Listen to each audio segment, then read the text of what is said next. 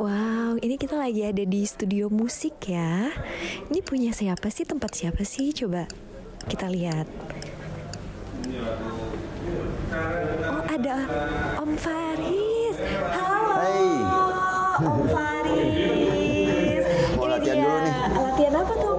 Buat konser berseratus. Wow, konser berseratus. Seratus, 100 keyboardis untuk bangsa. Gini ya kegiatannya musisi legendaris Indonesia. Gimana kabarnya Om Faris? Alhamdulillah baik. Oke. baik. Belakangan ini kesibukannya apa aja nih Om? Mau keluarin single lagi kah? Iya lagi ngerancang single kolaborasi sama Ardito Pramono. Insya Allah lah dalam waktu dekat. Lagi dirancang-rancang dulu. Waduh, kapan tuh singlenya bakal keluar? Eh, belum tahu, belum tahu. Tapi tapi eh, kami lagi mencoba mem- mempertemukan gagasan lah, mempertemukan ide. Lagi banyak ketemu sama Ardito. Kemarin juga baru live sama Ardito di Gedung Kesenian Jakarta. Oke, ngobrolin soal lagu nih ya, soal single lagu. Dulu ada dua lagu Om Faris yang populer banget di tahun 80-an. Ada Barcelona, Sakura gitu. Boleh diceritain dikit Om gimana perjalanan dua lagu itu yang membawa kira-kira sampai melejit sampai sekarang gitu. Terus terang aja sih aslinya sih aku nggak nggak paham ya maksudnya gimana gitu. Karena terus terang dalam membuat lagu aku nggak pernah terpikir bahwa itu bakal jadi hits atau enggak gitu. Eh, bikin lagu ya bikin lagu aja gitu nggak nggak nggak mesti terus ini yang bakal jadi hits nih ini bakal enggak gitu. Jadi ya hajar aja gitu. Tapi eh, ketika itu diterima oleh masyarakat oleh oleh eh, banyak eh, eh, orang gitu baru itu jadi satu yang spesial gitu. Bu- buat buat saya. Dan kalau saya boleh bilang justru lagu itu lagu-lagu tersebut tuh mengikuti saya ke mana pun gitu loh. Kapan saya main tuh harus mau nggak mau pasti mesti eh, nyanyiin dua lagu itu. Iya, tapi buat Om Faris sendiri arti dua lagu itu apa? Sangat besar lah ya. Artinya tanpa lagu itu kan tidak tidak tidak ada Faris RM lah ya. Artinya Faris RM memang mau nggak mau dikenal memang lagunya itu gitu loh. Jadi udah udah nempel udah udah jadi signature lah bagi saya. Ngomong-ngomong latihannya mau di mana nih Om Faris? di studio. Yuk Yuk, kita ikutin. Oke oke, yuk mari mari.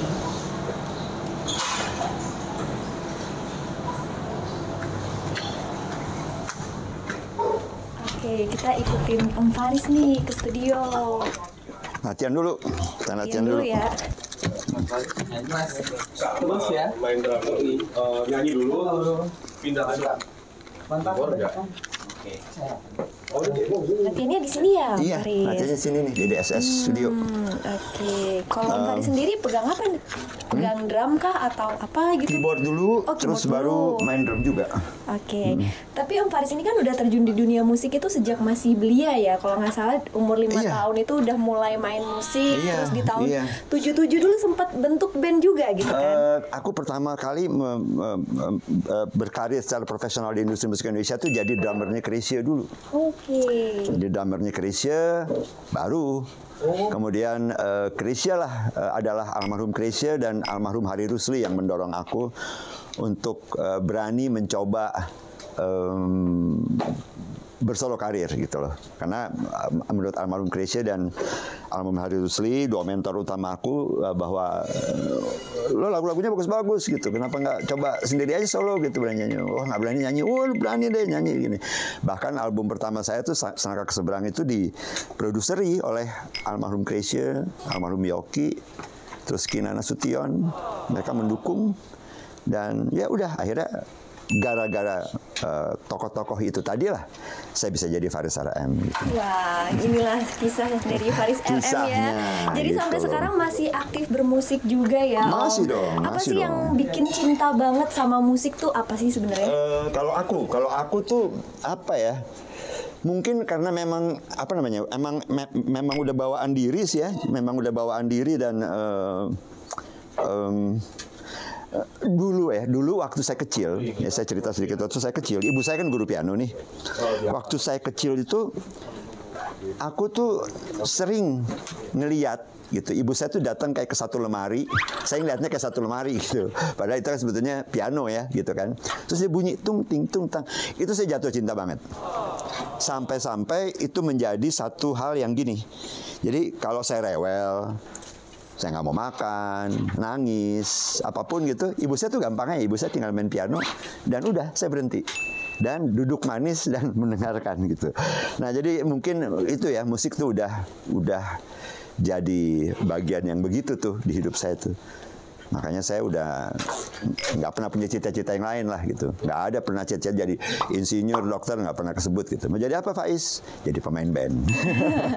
Terus kalau sekarang ngelihat musisi-musisi yang baru saat ini gimana tanggapannya nih kan banyak yang sekarang juga musisi muda yang lagu-lagunya pun viral gitu luar sekarang. biasa, luar biasa, Luar biasa. luar biasa ya. Em, mereka punya gagasan-gagasan yang menarik dan saya selalu tertarik dengan pemusik-pemusik yang berani membawa gagasan-gagasan baru yang eh, out of the box gitu, out of the box dari industri mainstream gitu. Makanya aku eh, pengagum Ardito Pramono, Tulus, Isyana misalnya lagu-lagu mereka luar biasa, karya-karya mereka tuh luar biasa out of the box gitu dan sukses pula gitu. Jadi artinya itu bukti bahwa tidak ha- harus selalu harus musisi itu kalau pengen sukses tuh harus mengikuti arus mainstream enggak gitu loh. Percaya diri aja. Yang penting percaya diri Percaya ya, diri. percaya diri dan konsisten. Boleh dong disebutin lagu-lagu yang paling favoritnya itu apa tuh dari musisi-musisi yang tadi? Em, tulus, ya, hati-hati di jalan, monokrom, em, Isyana, Il Sogno, ya, terus eh, My Mysteries misalnya, Em, Ardito sudah, aku suka juga, Em, First Love, ya, Bitter Love, banyak lah, hampir semua aku aku, aku dengerin kalau album mereka. Oke, tapi ini denger-denger ya, dulu kan katanya ada yang ngefans banget nih sama Om Faris sampai Hmm. katanya dulu mau ketemu Om Faris tapi nggak bisa sampai nyoba bunuh diri itu bener nggak sih mas? Iya. Beneran Jadi itu? bukan bukan nggak bisa ketemu. Jadi eh, itu di Medan dulu ada nama fans aku namanya Muni. Sekarang dia tinggal di Australia, udah kawin, udah tapi masih masih sering masih suka kontak lah gitu ya dia. Dia dulu eh, eh, eh, pengagum Faris, terus gara-gara saya yang saya mestinya main di Medan, Ya. saya mesti main di Medan, tapi satu satu hal tuh jadi tertunda gitu, bukan bukan batal loh ya, tertunda, gitu. Tertunda. tertunda. Tapi dia diledekin sama temen-temennya. Ta- sama teman-teman SMA nya diledekin gitu wah Faris nggak jadi datang syukurin lu nggak jadi datang gini gini saya macam gitu nah sampai membuat dia menyayat dirinya sendiri dan Bener ya berarti Om? Benar, benar, benar. Tapi eh, eh, terus aku minta izin, jadi karena orang tuanya telepon aku, eh, bilang "Ah, anak saya begini-begini cerita gitu ya. Wah, terus saya izin sama ibu saya, sama ibu ayah saya, saya izin. "Eh, boleh nggak saya ke Medan untuk situ? Terus direstui, direstui sama orang tua saya, ya udah kamu berangkat aja ke Medan. Dan akhirnya saya datang ke Medan langsung ke rumah sakit. Saya nggak saya nggak nggak ke mana-mana lagi langsung ngurusin itu. Datang ke rumah sakit terus eh, ketemu sama anaknya sama muninya muninya masih koma. Terus eh, saya bilang sama keluarganya udah eh, ibu ibu Saragih namanya. Ibu ibu pulang aja sekeluarga biar saya tunggu. Dan ketika saya menunggu itu saya hanya berdoa sama Tuhan. Saya cuma bilang kalau popularitas itu membawa hal-hal seperti ini janganlah gitu. Mendingan dicabut aja lah popularitas gitu dari hidup saya gitu. Eh nggak berapa lama tangannya mulai gerak. Dan akhirnya dia sadar gitu. Nah pertanyaannya adalah apa rasa hati saya gitu ketika dia mau bunuh diri karena saya tidak datang ketika dia sadar dari koma yang pertama dia lihat saya gitu. Apa apa perasaan hati saya tuh? Itu itu nggak bisa dilu saya nggak saya nggak bisa lupa dan itu luar biasa sekali. Maksudnya luar biasa ngeri gitu ya ngeri. Artinya untuk untuk saja banyak eh, orang tahu harus tahu bahwa eh, popularitas itu tidak selalu indah gitu. Tapi ada banyak sisi tragis.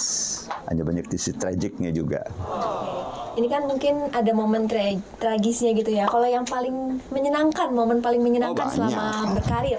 Banyak. Yang paling menyenangkan bagi saya sebetulnya adalah main band. Main band. Ketika ketika pentas gitu, ketika berpentas di hadapan banyak publik gitu ya, itu saling bertukar energi. Kami membawa energi lewat karya, kita lempar ke penonton, penonton membawa balik energinya dengan sambutan. Itu rasanya nggak ada duanya untuk bisa didapat di hal lain di dunia ini, dalam kehidupan ini. Itu sangat membahagiakan. Terakhir nih Om Faris, harapan Om Faris untuk dunia musik ke depannya di Indonesia ini seperti apa? Eh, saya melihat banyak banyak sekali kemajuan sebetulnya di industri musik Indonesia, tapi eh, saya berharap eh, eh, musik di Indonesia ini bisa bi- bi- bisa berkembang dan tidak salah diartikan oleh generasi-generasi yang ingin berkiprah di dunia musik eh, di Indonesia di tanah air. Yang perlu saya ingatkan bahwa musik itu bukan sekedar popularitas, tapi musik itu adalah tanggung jawab dan amanah atas anugerah yang kita dapat dari Tuhan. Wow, sangat mulia sekali ya. Oke, Om Faris, thank you untuk waktunya. Oke. Selamat melanjutkan latihannya untuk konser berseratus ya. Siap. Semoga sukses terus, Om Faris. Insya Allah amin. Alhamdulillah. Terima kasih banyak. Dah, see you.